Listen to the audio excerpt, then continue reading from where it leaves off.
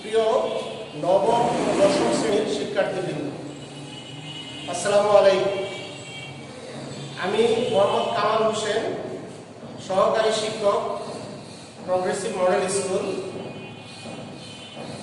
দিবা শাখা গণিত। আজকে অনলাইন ক্লাসে তোমাদেরকে স্বাগত। আজ আমি তোমাদেরকে গণিত বিষয়ে অধ্যায় নয়, ত্রিকোণমিতিক অনুপাত সম্পর্কে আলোচনা করব।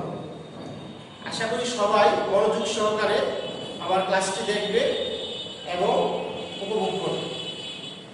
তাহলে চলো শুরু করা যাক আজকের ক্লাস। তোমরা সবাই খাতা, কলম এবং বই নিয়ে প্রস্তুত হও এবং আমার ক্লাসটি মনোযোগ সহকারে দেখো এবং শোনো। অধ্যায় নয় আমরা কি জানি? ত্রিকোণমিতি অনুপাত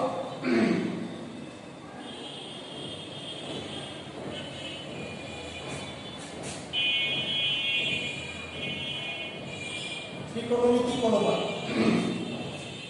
নবম শ্রেণির শিক্ষার্থীদের জন্য ত্রিকোণমিতি বিষয়টা আসলে সম্পূর্ণই একটা নতুন বিষয় আর দশম শ্রেণির শিক্ষার্থীবৃন্দদের সঙ্গে ত্রিকোণমিতি বিষয়টা ত্রিকোণমিতিটা একটা পরিচিত বিষয় তাহলে চলো আমরা প্রথমে একটু আলোচনা করে নিই ত্রিকোণমিতি সম্পর্কে আমরা প্রতিনিয়ত ত্রিভুজ, বিশেষ করে সমকোণী ত্রিভুজের ব্যবহার নিয়ে আলোচনা করি। আমাদের চারিদিকে পরিবেশে নানা উদাহরণ দেওয়া যায়, যেখানে কল্পনা সমকোণী ত্রিভুজ গঠন করা যায়। সেই প্রাচীনকাল থেকে মানুষ নদীর তীরে দাঁড়িয়ে নদীর প্রস্থ নির্ণয় করতে পারত। গাছে না উঠেও গাছের ছায়া এবং কুটির মাধ্যম, কুটির অনুপাত নির্ণয় করে গাছের উচ্চতা নিখুঁতভাবে নির্ণয় করতে পারত সেই এই গাণিতিক কৌশল শেখানোর জন্য মূলত ত্রিকোণমিতি ত্রিকোণমিতি বিষয়টি সৃষ্টি হয়েছে। ত্রিকোণমিতি আসলে কাকে বলে?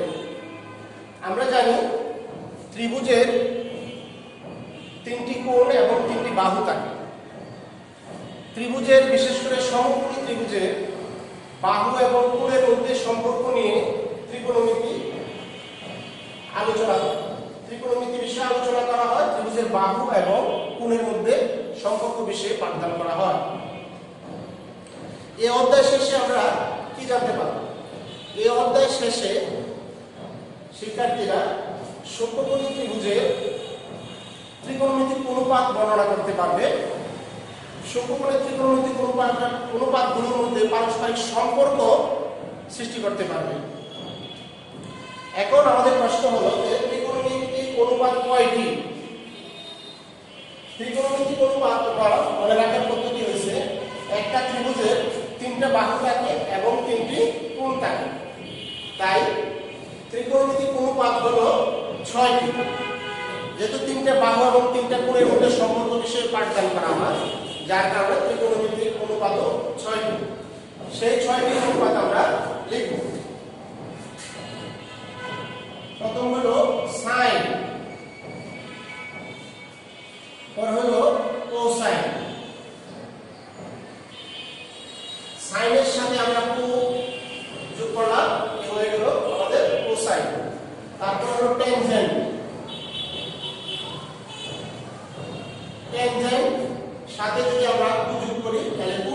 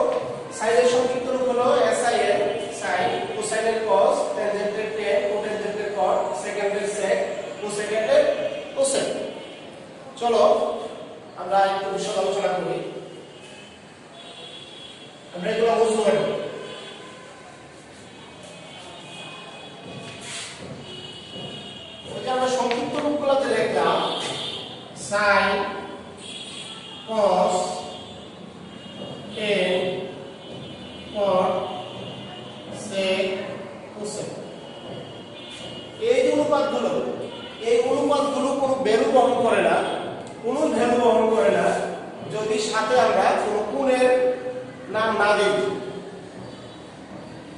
কোণের নামকরণের ক্ষেত্রে আমরা সাধারণত থিটা আলফা বিটা গামা এগুলো ইউজ করে থাকি।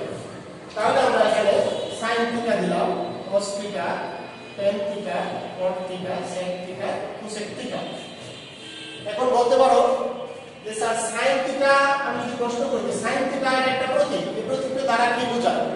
অনেকে হয়তো তোমরা চিন্তা করতে পারো যে সাইন থিটা প্রতীকটা দ্বারা সাইন এবং থিটা এর গুণফলকে বোঝায়? কিন্তু না। এখানে সাইন থিটা প্রতীকটি দ্বারা সাইন এবং থিটার গুণফলকে বোঝাবে না। সাইন থিটা প্রতীকটি দ্বারা বোঝাবে কি? থিটা কোণের সাইন অনুপাতকে বোঝায়। থিটা কোণের সাইন অনুপাতকে বোঝায়। অনুপাতকে বোঝায়। থিটা কোণের কি? সাইন অনুপাতকে বোঝায়।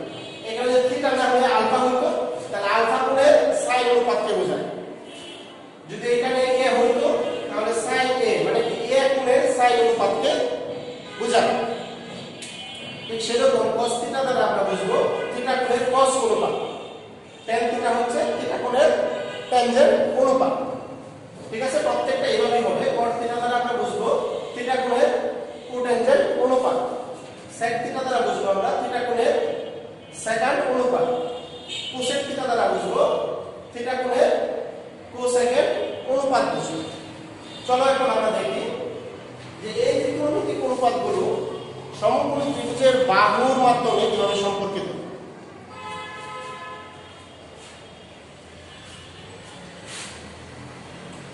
দেখো আমরা যদি একটা সমকোণী ত্রিভুজ অঙ্কন করি একটা সমকোণী ত্রিভুজ আমরা চিন্তা করলাম যেখানে এটা এ বি সি এই কোণটা হচ্ছে সমকোণী তাহলে সমকোণী ত্রিভুজের বাহুগুলোর অবশ্যই নাম থাকবে যেমন এটা যদি সমকোণ হয় তাহলে সমকোণের বিপরীত বাহুটাকে আমরা অতিভুজ বলি।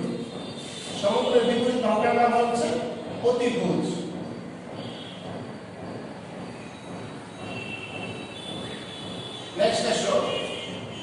আমরা কোনটাকে বিপরীত বাহু বলব আর কোনটাকে সন্নিহিত বাহু বলব?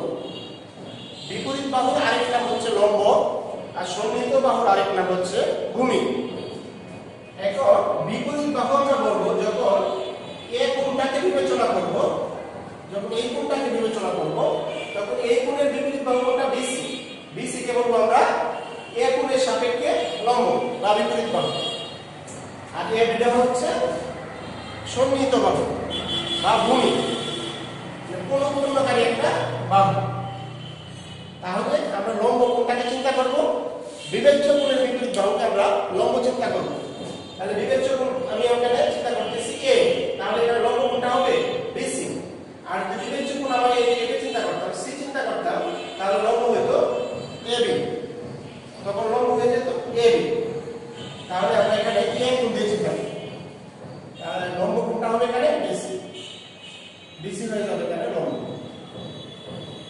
আর এবি হবে এখানে ভূমি বা সন্নিহিত ভূমি বা সন্নিহিত বাহু এখন এই তিনটে বাহুর মধ্যে এই কোণের সম্পর্ক নিয়ে আলোচনা করব যেমন সাইন এ আর এই এ কোণটাকে যদি আমি থিটা বিবেচনা করতাম এই কোণটার নাম যদি আমি থিটা তাহলে সাইন থিটা সাইন থিটা হয় হলো লম্ব বাই অতিভুজ অথবা বিপরীত বাহু বাই অতিভুজ তাহলে লম্ব দিলাম আমি। লম্ব বাই অতিভুজ এটা হলো সাইন cos নেক্সট হলো cos থিটা cos থিটা হচ্ছে আমার ভূমি বাই অতিভুজ ভূমি বাই অতিভুজ নেক্সট হলো tan tan থিটা হচ্ছে লম্ব বাই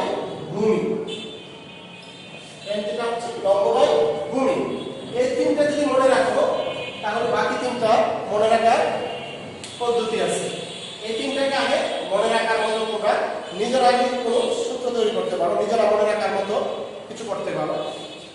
সাইন থিটার সূত্র কি তাহলে? এটা কিন্তু বাহুর মাধ্যমে। লম্ব বাই অতিভুজ। cos থিটা হচ্ছে ভূমি বাই অতিভুজ। tan থিটা হচ্ছে লম্ব বাই ভূমি। আর বাকি তিনটা মনে রাখার পদ্ধতি আমি একটু শেখা দিচ্ছি। আমি যদি সিরিয়াল এভাবে দেখি sine cos tan cos sec cosec এটাকে যদি আমি এক চিন্তা করি, দুই, তিন, চার, পাঁচ, ছয়। তাহলে আমরা দেখব এভাবে, এক নম্বর হচ্ছে ছয় নম্বরের বিপরীত। এক হচ্ছে কার বিপরীত হবে?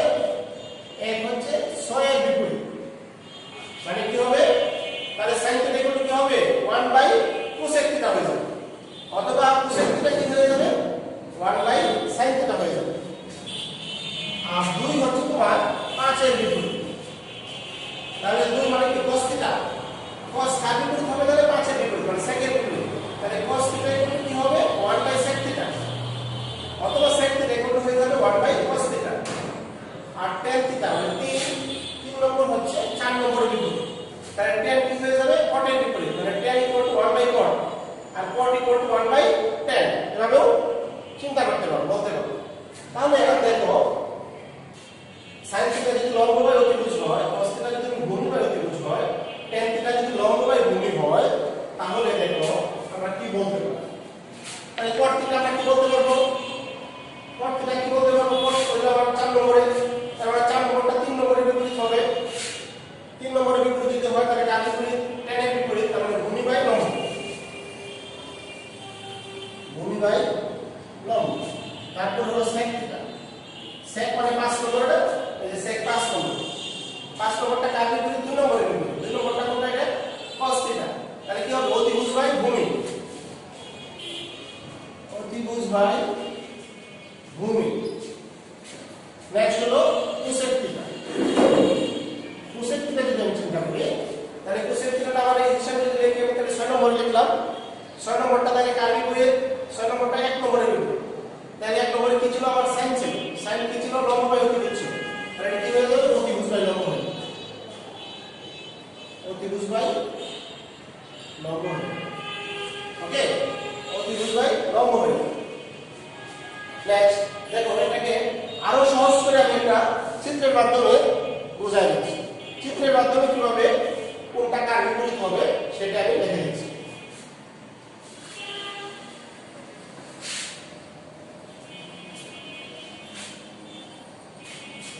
আমি যদি একটা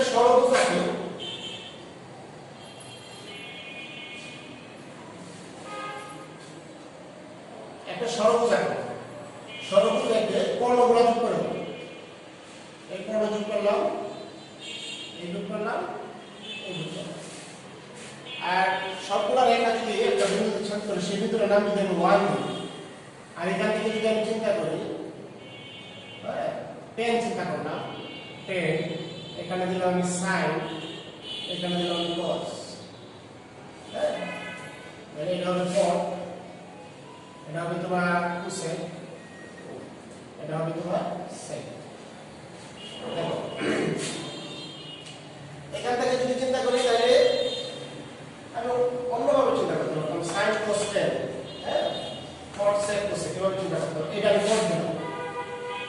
কট দিলাম এটা দিলাম সেক টেন এখন দেখো।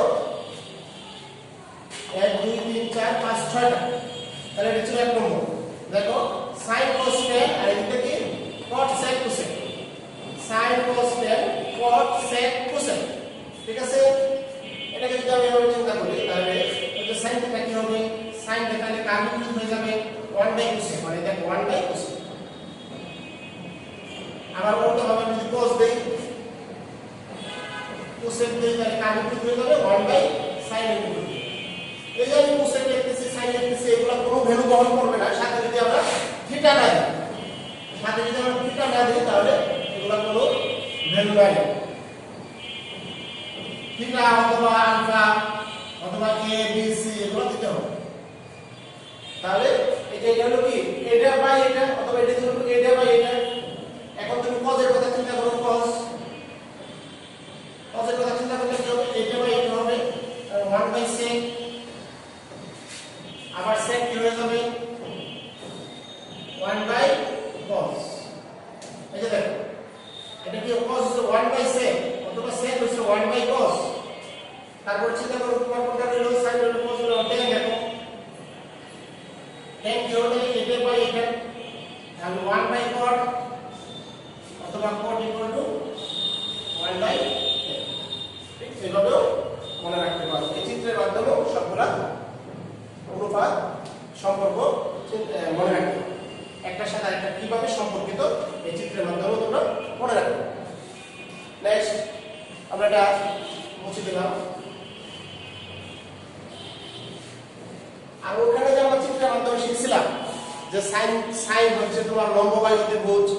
কজ হচ্ছে ভূমি বায়ু অতিভুজ টেন হচ্ছে লম্ব বায়ু ভূমি। এটা তুমি মনে রাখার মতো একটা নিজের কিছু তৈরি করতে পারো। যেমন আমি তোমাকে যদি একটা কবিতার মতো শিখাই দিই, তাহলে দেখো মনে রাখতে পারব সাগরে যদি আমি চিন্তা করি সাগরে বেশি থাকে কি? লবণ থাকে অতি। সাগরে লবণ অতি। আর কবরে কি থাকে? কবরে ভয় অতি। আরেকটা আমি নিয়মিত চিন্তা করলাম যে তার কাছে লম্বা থাকে লম্বা। এটা কেন চিন্তা করলাম এটা আমি দেখো কীভাবে মনে রাখ- রাখতে যেমন সাইন সাগর আমি যদি সাইন চিন্তা করি সাইন চিন্তা চিন্তা করি তাহলে লবণ অতি মানে কি লম্ববায় অতিভুজ লম্ববায় অতিভুজ আর কবর কবর যদি আমি কস দিয়ে চিন্তা করি ভয় অতি মানে কি ভূমিবায় অতিভুজ ভূমিবায় অতিভুজ আর তার কাছ থেকে যদি আমি টেন দিয়ে চিন্তা করি টেন যেটা করব কি হবে লম্বা ভূমি মানে লম্ববায় ভূমি লম্ববায় তুমি যেভাবে চিন্তা করো এটা মনে রাখতে পারলেই বেশি যে কোনটা লম্ব কোনটা অতিভুজ এটা যদি তুমি চিত্রের মাধ্যমে চিনো তাহলে মনে রাখবে যে সাইন থেকে লম্ববায়ু অতিভুজ কস হচ্ছে ভূমিবায়ু অতিভুজ টেন হচ্ছে লম্ববায়ু ভূমি তাহলে স্বাভাবিক কোট কি হবে কোট হবে ভূমি বাই লম্ব সেক কি হবে অতিভুজ বাই ভূমি কোসেক হবে অতিভুজ বাই লম্ব ঠিক আছে শিক্ষার্থী বৃন্দ তারপর দেখো আমি যদি একটা সমস্যার সমাধান করতে চাই, একটা সমস্যার সমাধান করতে চাই, এরকম কিছু সূত্র আছে, সূত্র কোনটা কোনটার বিপরীত শিখলাম। এখন আরও কয়েকটা সূত্র আছে, যেমন sine theta lane theta equal to sine theta by হয়ে যাবে? তাহলে cos থিটা বাই থিটা হয়ে যাবে আর আছে sin square theta plus cos square theta সমান 1 তাহলে এখান থেকে আমরা দুইটা সূত্র তৈরি করতে পারি। একটা হলো তোমার শুধু sin স্কয়ার থিটা কি হয়ে যাবে? 1 মাইনাস cos স্কয়ার থিটা হয়ে যাবে। আর cos স্কয়ার থিটাকে আমরা কি লিখতে পারি? sin এর পাশে 1 মাইনাস sin স্কয়ার থিটা লিখতে পারি। এটা থেকে আমরা দুইটা আরও সূত্র তৈরি করতে পারছি। আরেকটা সূত্র হচ্ছে যে sec square theta equal to 1 plus tan square theta এখান থেকে আমরা আরেকটা সূত্র তৈরি করতে পারব। কি লেখা যাবে tan স্কয়ারটা যদি বামে নিয়ে আসলে মাইনাস হয়ে আসবে ইকুয়াল টু 1 ঠিক সেরকম, cos x square theta equal to 1 plus cot square theta এটা থেকে আমরা একটা সূত্র তৈরি করতে পারব।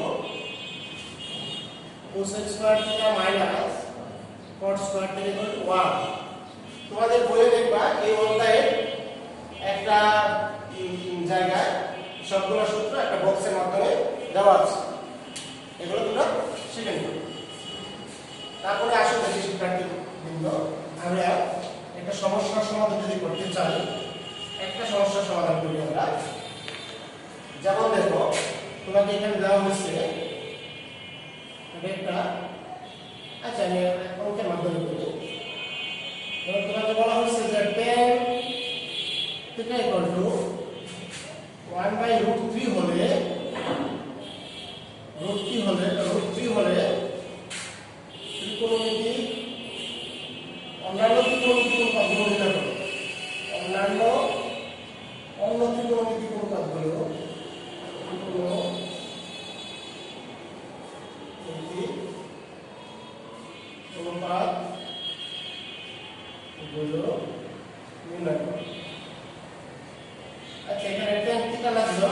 এ দিল টেন এ সমান ওয়ান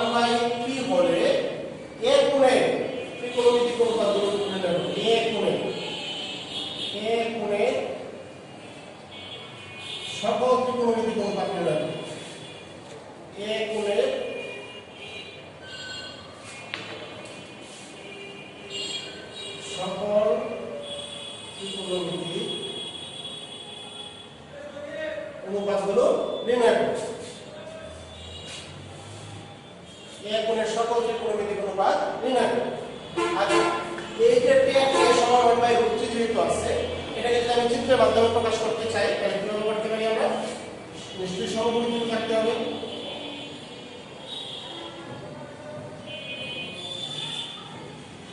এটা যেমন এ বি সি কি ছিল এখানে tan এ 1 বাই √3 আর tan এর সূত্র কি ছিল আমার? Tan থিটার সূত্র কি ছিল? Tan এর সূত্র ছিল লম্ব বাই ভূমি ছিল। লম্ব বাই ভূমি ছিল। তাহলে এখানে লম্বটা কত এখানে 1 আর যেহেতু এখানে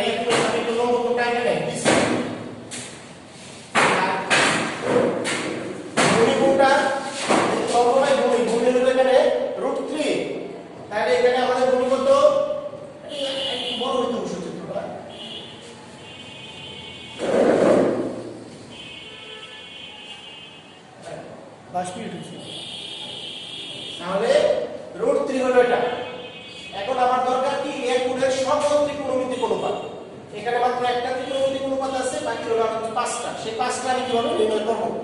সেই পাঁচটা নির্ণয় করতে গেলে নিশ্চয়ই আমার এই বাহুটার মান জানতে হবে। এই বাহুটার মান আমরা জেনে নিয়ে বাকি গণনা করতে পারব।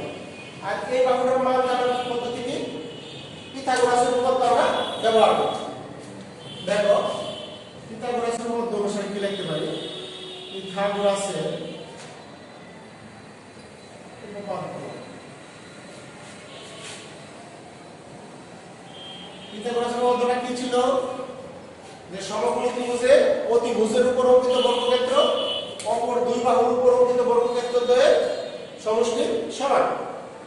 তাহলে এখানে অতিভুজ কোনটা এখানে?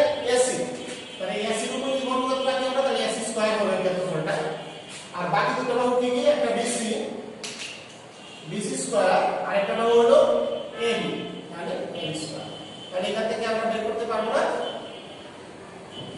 এখান থেকে আমরা কি বের করতে পারব? এসি মানটা বের করতে পারব। এসি মানটা আমরা বের করার জন্য বিসি মান কত দেওয়া আছে এখানে? 1 এবি মান কত এখানে? রুট ওভার 3 হোল স্কয়ার করো। 1 রুট ওভার 3 স্কয়ার মানে 3 তাহলে 4 এবার এসি কোন কত হবে? রুট ওভার 4 তোমার 4 মানে আমরা করলে প্লাস মাইনাস 2 দিতে পারতাম। কিন্তু এখানে আমরা শুধু 2 দিব। কারণ প্লাস একটা দিব বাহুর মান কখনো ঋণাত্মক হয় না এজন্য আমি মাইনাসটা দিব না। তাহলে এসি মান আমাদের কত আসলো? 2 আসলো। তাহলে অতিভুজের মান আমরা পেয়ে গেলাম। অতিভুজের মান কি পাইলাম 2 পাইলাম তাহলে বাকি ত্রিকোণমিতিক অনুপাতটা এখন আমরা পারব না? অবশ্যই পারব দেখো সাইন এ এখন সাইনে যদি আমরা করতে চাই সাইনে কি ছিল? লম্ব বাই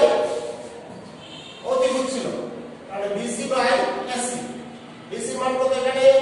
বিসি মান 1 আর এসি মান পাইছি 2 cos এ কি হবে তাহলে? ভূমি বাই অতিভুজ এবি বাই এসি মানে কত হবে? √3 বাই 2 tan তো দেওয়া আছে তাহলে cot cot কি হবে? এখানে একটু বুঝতে হবে না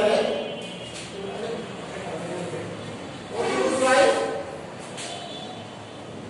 সরি কটের সূত্র কি ভূমি লম্ব। তাহলে এবি বাই কত হবে? বিসি তাহলে কত হবে? Root three by one.